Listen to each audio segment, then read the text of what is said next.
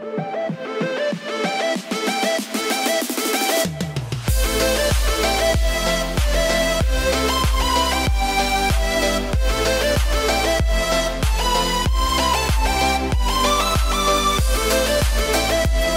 guys, so last two weeks I ordered something at Amazon. Let's check it out. Here you go guys, time to open the box.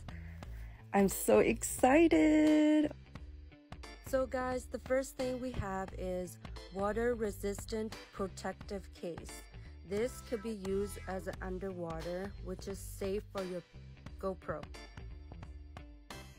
So the second thing that comes with it is the USB-C cable.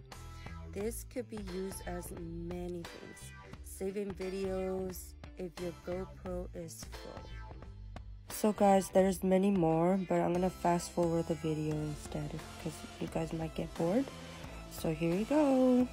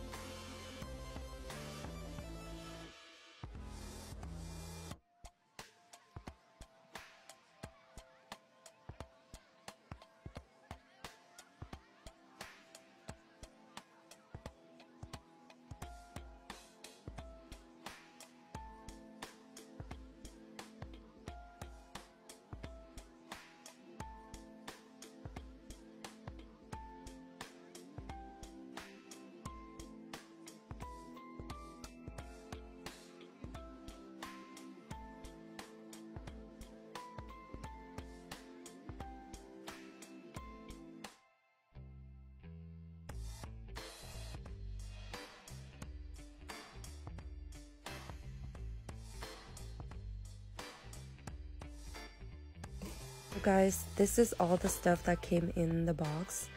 And you gotta admit it not bad for a combo right? My apologies for not listing all the names that came in the box but you could go check it out in amazon or any other app. Thanks for watching guys